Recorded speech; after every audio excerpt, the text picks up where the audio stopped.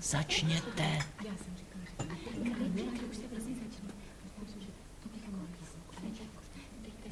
Cože to bude? Sestry Havelkovi. Čí?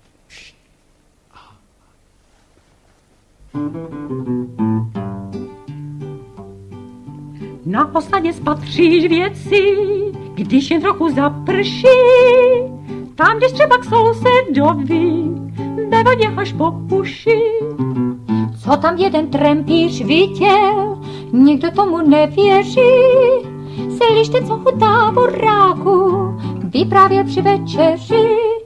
Franta zdědil ponorku, jezdí s ní prý po dvorku, za každého počasí, v dešti, v zimě i v horku. Prý on s tou ponorkou bude jezdit za holkou, že s tím jezdit dovede jako s motorkou. Do redakce týdenníků vletěl zpravodaj jak švec. Šefe nesu čerstvou zprávu, přímo senzační to věc.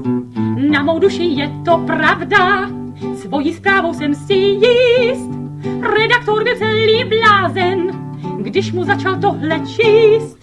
Franta zdědil ponorku, jezdí s ní prý po dvorku, za každého počasí, v dešti, v zimě i v horku. Že prý on s tou ponorkou bude jezdit za holkou, že s tím jezdit dovede jako s motorkou.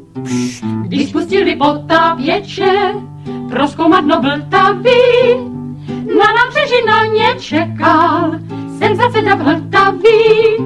Když konečně vynořil se, skafandr ze sebe smlek, na otázku, co tam viděl, klidně jim jen tohle.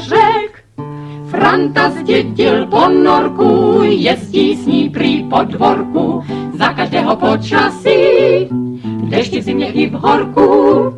Že prý on s tou ponorkou bude jezdit za holkou, že s tím jezdit dovede jako s motorkou.